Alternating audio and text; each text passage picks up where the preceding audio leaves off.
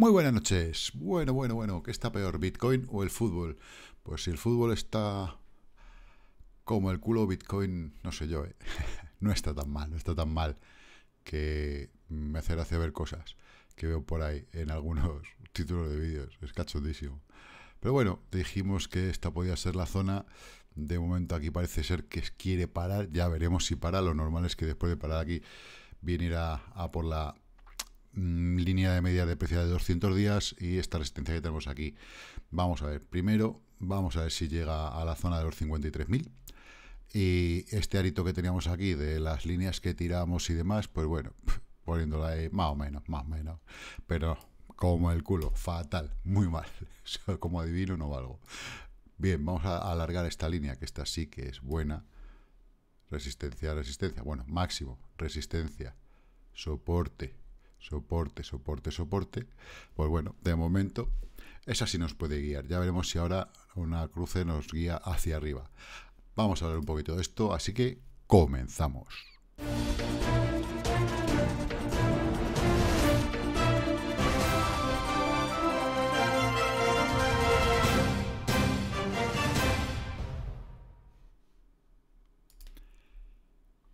Tremendo, tremendo. No sé si está lo que decía, peor el fútbol o el Bitcoin.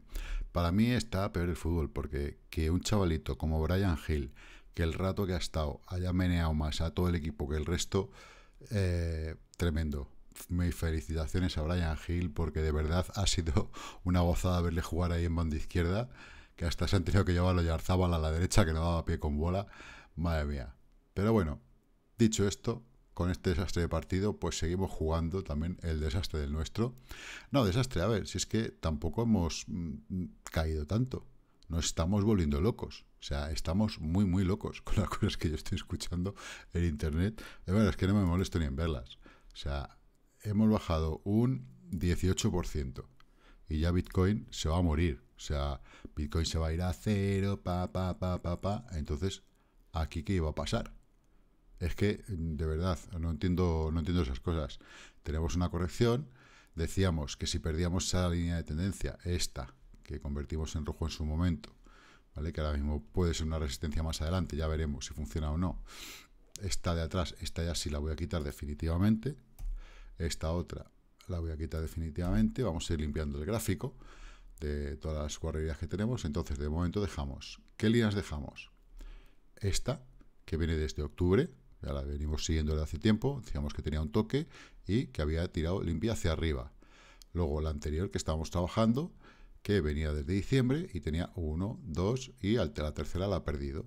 Bueno, pues esta otra tiene uno, dos y a mejor la tercera la pierde. De momento a ver si consigue el segundo toque. Eh, ¿Cómo puede venir hasta esta línea? Es decir, yo ya veo mucha gente loca diciendo, yo voy a esperar a comprar en 40.000. Pues ya puede estar esperando, chavalote. De momento, mm, yendo muy mal la cosa, ¿vale? Nos vendríamos a 44.000. Mm, yendo muy mal la cosa, ¿vale? Entonces, lo normal es que empecemos a hacer tonterías. Pum, pum, pum, pum, pum, ¿vale? Me acuerdo hace unos vídeos, recordé a quien quería comprar en 48, ahora empieza a ser posible. Todavía no es posible porque todavía no hemos bajado 48, pero ya empieza a ser posible.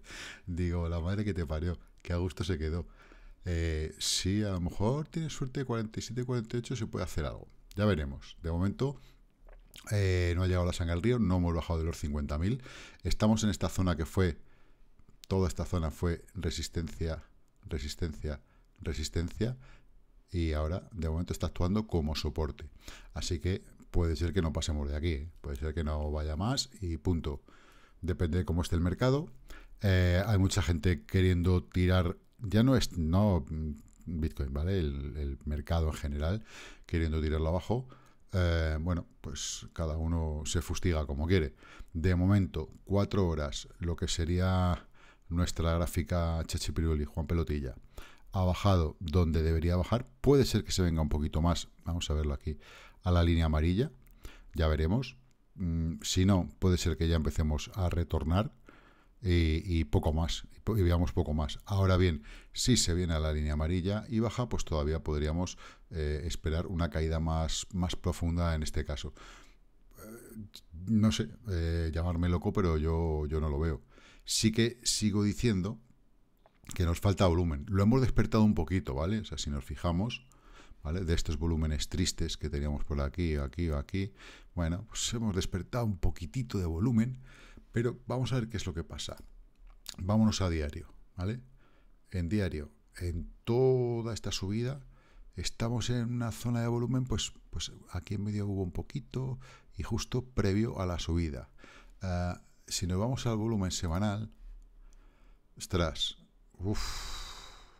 está feo, ¿eh? Está feo, el volumen semanal está feo, pero después de una baja de volumen viene una subida de volumen, esto hay que recordarlo. ¿Hacia dónde? Hombre, esperemos que no sea una bajada de este tipo con una subida de este tipo, porque mirar, la caída, ¿no? no es lo que buscamos.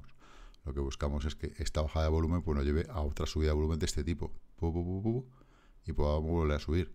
Vamos a ver cómo se regula el mercado. La gráfica se ha quedado un poquito, pues eso, rara, rara, para que no vamos a engañar. Eh, semanalmente, pues bueno, una y dos semanas de bajada. Es importante no perder esta zona de aquí, ¿vale? Lo que bajó esta semana. ¿Podemos encontrar el rabito? ¿Ey, esa mechita que tenemos ahí? Mm, no.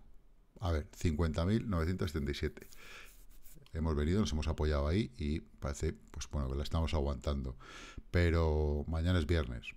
vamos a ver cómo termina la semana. Deseable sería que cuanto más arriba, mejor, pero mm, no, está, no está bonito, ¿vale? Las cosas como son, no está bonito, pero menos bonito era esta. Y, oye, fijaros, o sea, y menos bonito, ¿por qué? Porque fijaros, que después de un martillo semanal no vinimos abajo. Luego un martillo invertido y rocatás. Bueno, aunque esto tenía bastante mecha, era más de indecisión que otra cosa. Pero aquí pasa igual, es decir, tenemos un micro martillo, pues bueno, tiene poquita mecha. Es un martillito, el hijo de los martillos, ¿vale? Dice, martillo, dile a tu padre que salga, le va a partir la cara. Pues es un martillito chiquitín. Y tenemos aquí una pel pues parecida a esta. No, no, no me dice nada, de momento no me dice nada. Lo único que me dice realmente es esta bajada de volumen que desde esta última semana, antes de la, siguiente subida, de estas dos semanas de subida, que está, ha estado tan bajo el volumen, pues no, no, me, no me gusta. Entonces, claro, perder con este tan poquito volumen esas dos semanas, pues no es extraño. Eh, esperemos que no lleguemos tan abajo, porque perder esas dos semanas serían los 45.000. Eh, y yo espero que no, que nos quedemos más o menos ahí en 48.800, que de ahí no pase la sangre, aunque tengamos que lateralizar. Pero, mmm, este Bitcoin, ya sabemos lo que hay. Fijaros en diario, cómo está cerrando la vela de hoy. Bueno, todavía no ha cerrado, ¿vale? Que nos queda una hora y 50 minutos. ¿Cómo puede cerrar? Es decir, puede ser muy positiva para empezar a ascender otra vez ya veremos cómo se asciende realmente, cómo es ese ascenso, qué hace, porque lo que decimos, para venirnos a esta línea de tendencia tenemos que empezar a tontear un poco hasta tocarla por donde sea, no sé si aquí, aquí, aquí, eso no lo sabe ni Cristo. Y quien diga que lo sabe que va a tocar aquí porque hay una corrección ABC con una angulación de 45 grados hexagesimales a la derecha, miente. Y lo digo de aquí, miente. Una corrección ABC o cuando tenemos un 1, 2, 3, 4, 5, ¿vale? Pues más o menos tienen unos rangos. Pero nadie puede decir, aquí, miente. Aquí, miente. Más o menos. Podemos intuir. Pero de aquí a aquí no podemos saber nada porque puede hacer así, ¡pum! Y lo puede hacer. Así que poco más. Mañana veremos a ver si seguimos en esta locura o, o si la gente ya empieza a decir, oye, pues estos que estaban diciendo que mañana iba a estar Bitcoin a cero, pues como que no tienen razón. Vamos a volver a la realidad todos un poquito y a dejarnos de tonterías. En la parte de las altcoins, pues bueno, hay unas que han sufrido mucho. Bueno, vamos a ver primero cómo está Ethereum contra el Bitcoin.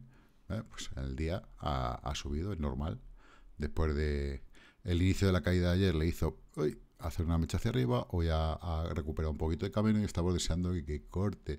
Parecía que hoy, por fin iba a ser el día que esa línea de tendencia la iba a machacar y no, de momento, de momento no. Y el resto, tiqui, tiqui, tiqui, Fija, vamos a fijarnos dónde está aquí, porcentaje de cambio. pues tenemos 13, 12, 9, mucho rojo, mucho, mucho, mucho. Y en el lado verde, pues bueno, también hay algo, no tanto, pero lo que hay se ha portado muy bien. Bueno, Qt un 18%. Tita, que sigue un camino fantástico. Tita no es normal. Es decir, todos llorando y Tita subiendo. O sea, esto es lo que hay. Em, Ripple está intentando salir de, de, su propio hoyo. Link, bueno, Link es que lo de Link es tremendo. Tuvo toda la subida brutal que tuvo. Fijaros como uno de los soportes que dijimos se apoyó subió por encima de este otro que teníamos aquí marcado. Fijaros si lleva tiempo aquí, que está... Vamos a abrirlo. Ahí. ¿Vale? Está intentando ahora superarlo, lo ha perdido, va a intentar, intentar superarlo y bueno, si puede superarlo, pues fantástico. Y si no, pues nos volveremos a ver en esta zona que es muy buena para poder decir, venga, hacemos una, una comprita. Em, no sé si va a llegar aquí, es posible, ¿eh? bastante probable que coja y llegue hasta aquí y sea una zona de patapum. Yo la voy a estar vigilando. Vamos a, vamos a dejarla ahí. Vamos a estar vigilándola porque creo que puede ser súper interesante. Y en el resto, pues bueno, Cardano ha subido otro 4 y pico por ciento hoy. Dentro de su carrera. Pero cuidado que ya sabemos aquí que tenemos esto y se nos puede venir aquí abajo o puede ser un ascenso. Vamos a ver qué tal se, sigue comportando. Neblio, Nexo y bueno, yo luego el resto subidas eh, pequeñitas, para, vamos, pequeñitas. Que si el oro sube un 3% el día es, un, es una noticia. Que lo suba AMB, pues, pues no. O sea, es lo que tiene que ver que BX suba un 2%, no es noticia. Que lo suba eh, el, el IBEX 35, pues es una notición. Esta es la tontería que tenemos en los mercados, ¿no? Por no querer hacer ver lo que, lo que hay en realidad. WePower, que se ha llevado unos días muy buenos, pues bueno, hoy ha vuelto a intentarlo, pero está ahí terminando a ver si cierra en verde y sigue. Pues bueno, bien, bien, cositas eh, interesantes. Poco más, poco más que decir. Vámonos a nuestro señor Bitcoin. Eh, bueno, pues que cierre en verde la vela de hoy.